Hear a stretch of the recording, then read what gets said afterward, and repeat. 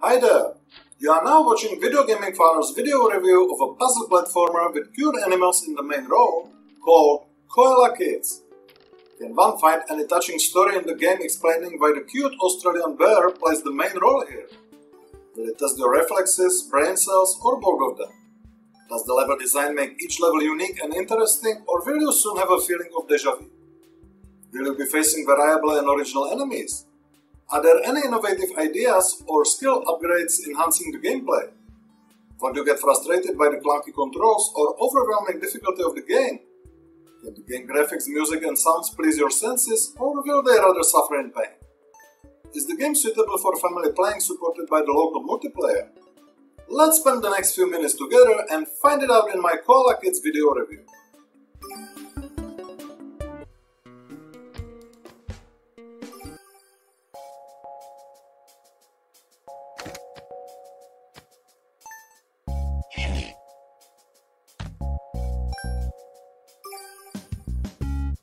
And let's start with the story. Evil treasure hunters landed on the island that is supposed to be full of treasures. However, the island is also inhabited by peaceful koala bears who seem to be an obstacle in their ransom. So they simply decided to capture all the koalas while they were sleeping. Luckily for koalas, and also for us as there would be no game otherwise, they have not managed to capture all of them. It's not a big surprise that you take the role of that uncaptured koala and start fighting for freedom of your beloved ones by taking a weapon and killing all bad guys that dare to... No, wait a second. This is not any violent game. Your mission is clear, to liberate your koala family, but to do this you will need to use your intellect rather than brute force. The story is a slight disappointment as there is just short animation in the beginning and that's it. It's not developed further either by animations or text but it's not so important for the game concept, so let's better take a look at the gameplay now.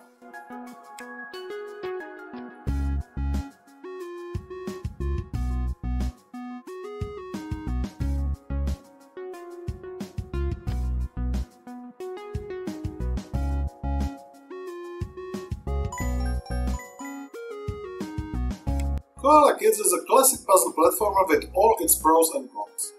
In the first few levels you will learn how to jump, avoid the traps, activate switches releasing your way further, and also to collect the items. The whole concept of the game slightly reminded me of Toki-Tori that I reviewed some time ago. You have the inventory where you have the items that you need to use in the right places to successfully accomplish each level. You have two slots for items in your inventory. Unlike in Toki-Tori, you do not start the level with all items in your inventory, but you need to collect them first from the various places in each level. The other difference is that you do not have a limited number of them, so once you have the item in your inventory, you can use it as many times as you wish. So, in almost each level you need to jump between the platforms, activate some switches, opening the doors, collect the useful items that you will be using to get further, avoid the traps and enemies, collect the coins, diamonds and other treasures to get to the exit door. The game is split into worlds, in Super Mario Star for example, and each world consists of up to 5 short levels that fits to one screen. Now let's take a close look at what kind of items you will be using and what kind of obstacles you will need to get through.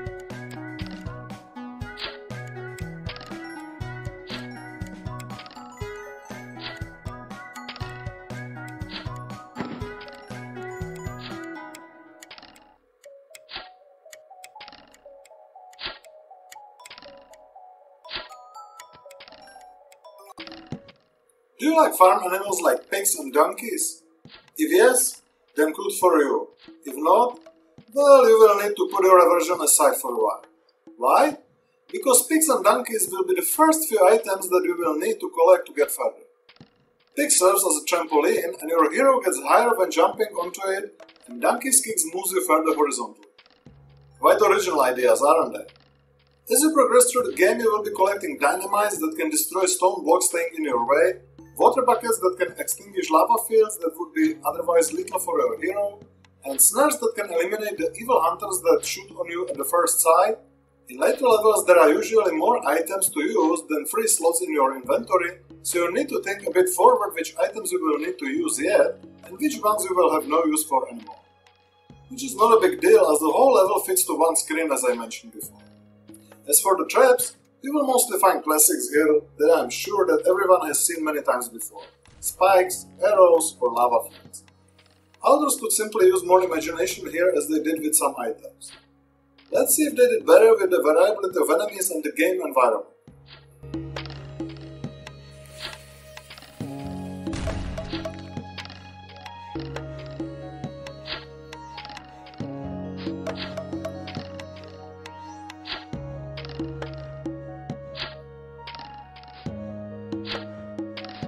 The answer here is quite simple, not really.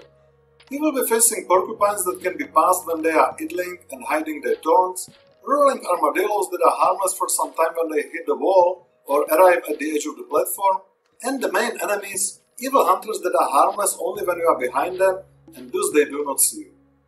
Luckily, the level design allows you to pass them or get rid of them by several possible ways.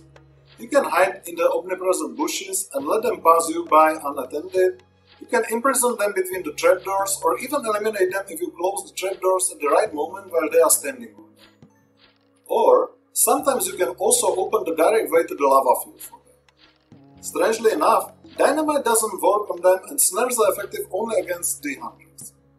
Most likely not to make the game too easy.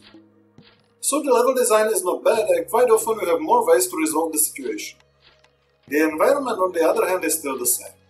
Brown ground, platform covered by green grass, flowers and bushes, some traps, levers, blocks, doors and enemies. You will not find anything here that would make the game environment more interesting.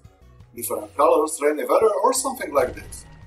It could be definitely designed with using more imagination to precede the feeling of stereotype. And there are also not any skill upgrades or some other RPG elements that would help with this problem and enhance the gameplay at least a bit.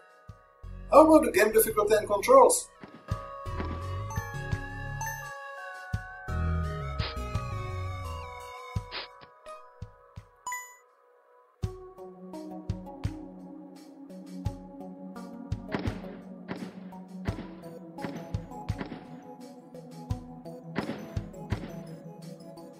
As for the difficulty, Koala Kids belongs among easier games, so it can be played by the kids and casual players without frustration. The levels are short, there are checkpoints in the bigger ones, and there are clear patterns in the behavior of your enemies. There is also no time limit that would make one nervous. On the other hand, there could be at least some measure of time or steps needed to finish the level with an online leaderboard like in Stealth Bastard Deluxe for example. This would be the way to increase the player's motivation and also precede the early start. Luckily enough, there is a local multiplayer which makes the game even more suitable for family playing. Game controls are rather controversial. I would like to play the game on the Xbox controller as I usually do with the platformers, but you need to configure it in the external files and not in the game directly, which is a pretty archaic way. Control's preciseness on the keyboard is above average. Controls are responsive most of the time, but sometimes it reacts in a weird way, which usually costs you a life. Not a big deal, but the impossibility to set up the controller directly in the game is a minus.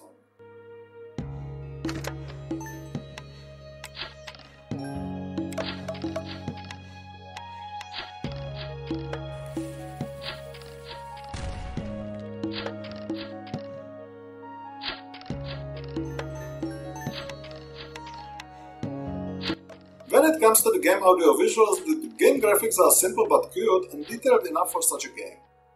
The truth is that the colors are almost the same in every level, but it is rather caused by the low variability of the environment than the graphics itself. There are only a few sounds, but the existing ones when jumping on the pig or being kicked by the donkey are at least fine. The game music suits the game, but the problem is that there are only few music tracks, so the music becomes repetitive quite soon.